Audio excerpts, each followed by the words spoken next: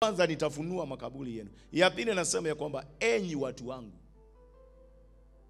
Ndikana uri wakira ukaigua ngai agigwita mundu wake. Ama unafikiria hiyo sio sauti? Unajua kuna watu wanasema hiyo ni ya kuunganisha si kuunganisha.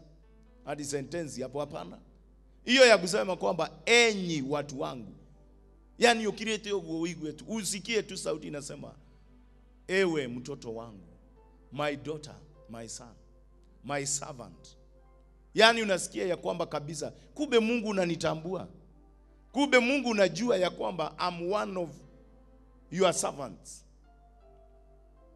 Hiyo tu ya kusema hivyo inaweza ikafanya katika maisha ya rohoni uingie na uende miles and miles. Uinuke mahali pa juu. Au niho mundu akinyaga ukaigua gutire ruthingo tangiruga tondu wina mugambo wa ngai. Bwana apewe sifa. Uko na sauti ya mungu alafu ya tatu inasema namna gani? Nitawarudisha katika nchi yenu. Nawambia ya kwamba it is ju- just like saying i will restore you. Mahali ambapo mulitolewa kwenu basi nitawarudisha mahali pale. I'll take you back to your position. I'll take you back to your place. Praise the name of the lord. Nasema tena ninaomba tukiondoka hapa kila mmoja sauti ya bwana.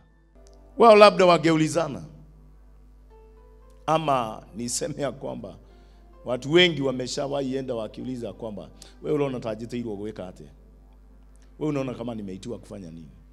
Unaona taigituika aca wewe urafiru atia. Yani unajua watu wako bwana pewe sifa. Ama hujawahi sikia watu wanaulizana wewe unafeel aje? Unaona kama nimeitwa kufanya nini? Unaona kama ninaweza nikawa nikawa nini katika nyumba ya bwana nikawa wa kwaya nikawa wa praise him what is your feeling? Sauti ya mungu inatuondolea kuenenda kutika, kupitia hisia zetu feelings, feelings zako. Hata wengi najua tumeshawahi mwendea mchungaji namuuliza mchungaji mchungaji we uonaga hatia sauti ya mungu inatuondolea na vile sisi tunaona. Sisi tunaweza tukafikiria wewe utakuwa nini. Unaweza ukawa mwalimu wa Sunday school lakini kumbe mungu amekuita kuwa mchungaji hapa. Lakini labda mungu amekuita kuwa katika eneo lingine.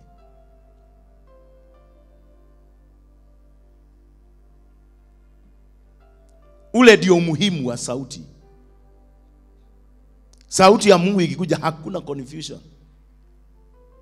Labda mtu mwingine angejiogeza mahali pale angesema ya kwamba ah, si hata mimi ninasikia kwamba etodwara nena niambiwa hapana mungu hakukutaja. Roho amenena waziwazi na amesema wanapewe sifa.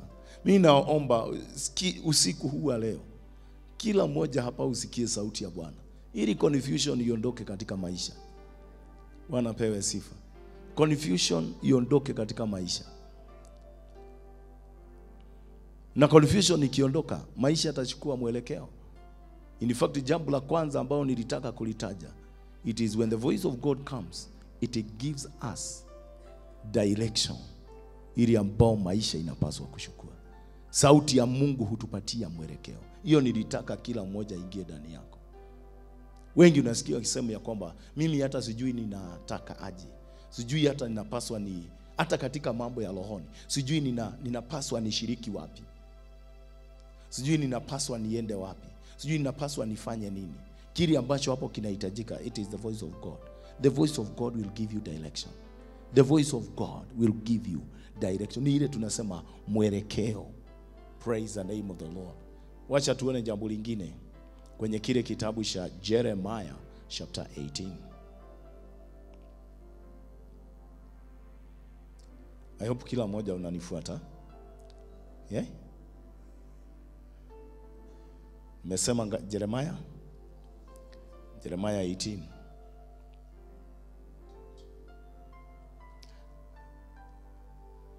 huu pia ulikuwa ni wakati wana wa Israeli walikuwa katika